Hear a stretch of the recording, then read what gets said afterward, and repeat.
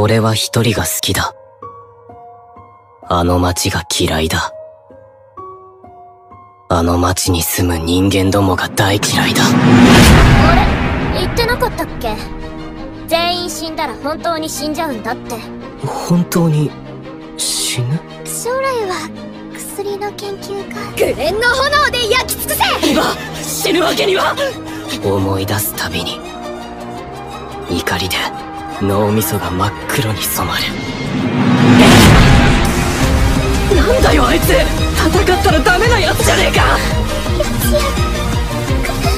私を助けて。クエスト失敗？俺が死んだら終わる。その時気づいた。もし俺がクエストを放棄すれば大嫌いなこの街を滅ぼせる可能性があることに